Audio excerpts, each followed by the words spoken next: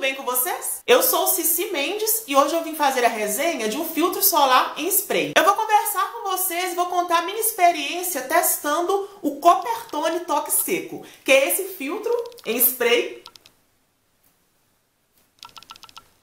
Eu testei esse produto no FPS 30, mas a marca também tem uma versão no FPS 50.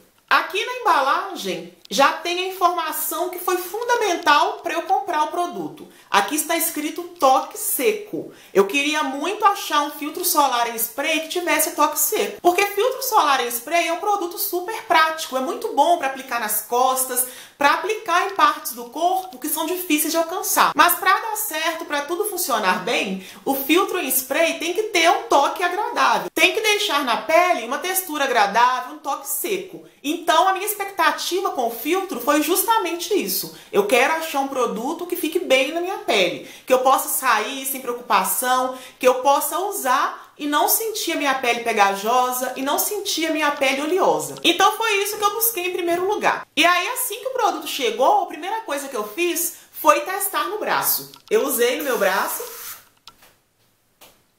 Rapidamente já fui espalhando para ver qual que seria do produto. E a minha surpresa foi essa. A pele ficou bem sequinha. Ele espalha super fácil, ele não deixa aquele resíduo oleoso. Vou tentar mostrar mais de perto aqui para vocês. O meu braço ficou como se eu tivesse passado um hidratante, um hidratante que não fosse mate. Eu falei isso no vídeo da outra resenha do Episol, mas vale para essa também. O protetor em spray você tem que espalhar com a mão, para não ficar áreas da pele sem receber produto. A minha mão não tá grudenta, a minha mão não tá oleosa, Está parecendo que eu passei um hidratante na mão. Tá super tranquilo. Eu posso pegar no meu cabelo, pegar na minha roupa, que a minha mão não vai sair sujando as coisas por aí. Essa textura do produto imediatamente após a aplicação. Não fica mate, mate, mas tem toque seco. Você pode pegar na pele que você não sente a pele grudando, a pele fica sequinha, mas fica com uma aparência de pele hidratada. Esse produto me lembra muito alguns tipos de hidratantes corporais, daqueles hidratantes que você passa e a pele fica mais ou menos assim. Não fica grudenta, não fica pegajosa, mas fica com um glow. Isso aqui ele vai ficar. Mas para vocês verem melhor, eu fiz a aplicação no meu corpo e gravei para vocês. Assista comigo.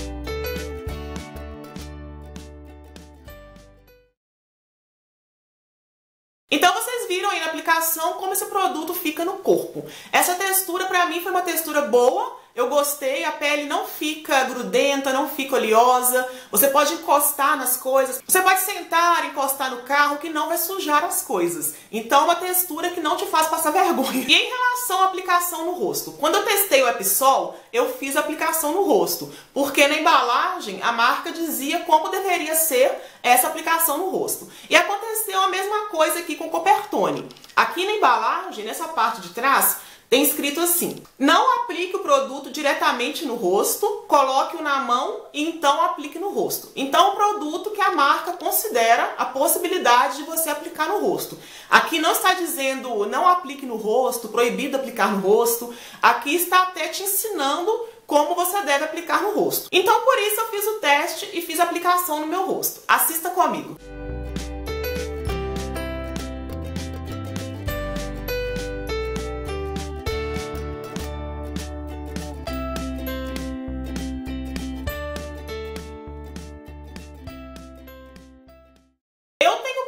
Oleosa, tenho pele acneica, até os filtros solares faciais para pele oleosa, nem todos ficam bons na minha pele. E quando eu apliquei esse produto aqui, foi justamente para testar para vocês. É, no dia a dia, eu não aplico isso aqui no meu rosto, não. Eu tomo muito cuidado com a minha pele, eu seleciono bem os produtos próprios para pele oleosa para aplicar no meu rosto. Mas o que eu quis mostrar para vocês é que é possível aplicar. Talvez quem não tenha pele oleosa, se quiser usar, consegue. Mas quem tem pele oleosa e principalmente quem tem pele acneica, não passe no rosto. Continue usando seu filtro solar, a não ser em alguma emergência. Se eu estiver na piscina, na praia ou em algum lugar que eu só tiver levado esse e não tiver opção de produto para o rosto, aí sim eu vou aplicar. É melhor aplicar ter a pele protegida da radiação solar do que não aplicar nada. Mas isso eu vejo como uma exceção. Esse produto não tem uma textura que funciona no rosto para quem tem pele oleosa. E ele nem se propõe a isso. É um produto para todos os tipos de pele. E principalmente para ser usado no corpo. Mas eu fiz a aplicação para mostrar para vocês como usar o produto de acordo com essa instrução na embalagem. Você nunca vai fazer isso, nunca vai colocar um jato no rosto. Você vai fazer como eu fiz no vídeo, colocar na mão e aplicar no rosto. As amigos de pele acneica, por favor, não façam isso. Esse é um filtro solar com FPS 30, a proteção VB é 30 e aqui na embalagem eu não vi informação sobre a proteção VA, mas ele tem proteção VA. Aqui vem escrito proteção VB e proteção VA. Produto oil free, não tem óleos nessa fórmula e de rápida absorção. A marca promete que é um produto que vai ser rapidamente absorvido pela pele. Isso é algo que realmente acontece. Vocês viram aqui quando eu apliquei na mão, no braço, eu fui espalhando, o produto já foi sumindo. A mesma coisa vocês viram na aplicação que eu fiz na perna, no colo, no pescoço. É um produto que sim tem rápida absorção. Característica que a marca informa é que esse é um produto transparente. Vocês viram quando eu apliquei que não deu pra ver cor. É um produto que dá pra ver quando o jato toca a pele, que é um líquido transparente.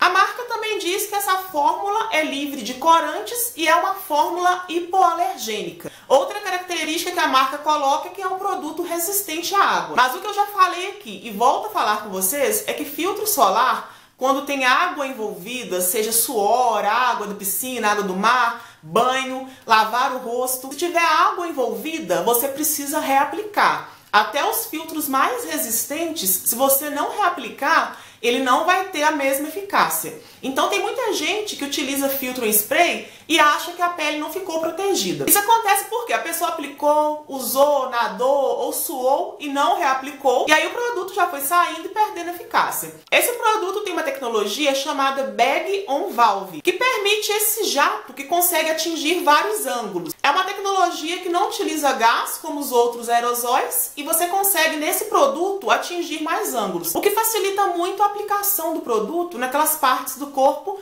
mais difíceis de alcançar. O filtro solar Copertone Toque Seco vem na embalagem de 177 ml ou 149 gramas. Eu comprei pela internet, paguei R$ 47,90 no site Netfarma, mas a média de preço dele nas farmácias está entre R$ 49 e 50 reais. E eu vi também em várias farmácias a promoção do combo. Você comprar dois produtos desse e esse combo com preço bem melhor. E para finalizar, esse foi um produto que eu gostei muito. É um produto que conseguiu tirar aquela má impressão que eu tinha ficado com filtros em spray. Eu vi que é possível ter um filtro em spray que tem uma textura agradável, que tenha toque seco, e esse tem. Eu gostei muito da praticidade Apesar desse produto não poder ser aplicado na pele molhada, ele é um produto prático. É, vale a pena você secar a pele e aplicar. E ajuda bastante na aplicação nas costas. Nem sempre tem alguém para fazer a gentileza de aplicar o filtro solar nas costas pra gente. Então com esse produto aqui você mesmo aplica e reaplica. E essa foi a resenha do protetor solar em spray Copertone Toxic. Se você gostou desse vídeo, deixa um like, deixa um joinha pra mim. Se você ainda não é inscrito no canal, seja bem-vindo. Aproveite agora e inscreva-se. Muito obrigada por assistir, um grande beijo e vejo vocês no próximo vídeo.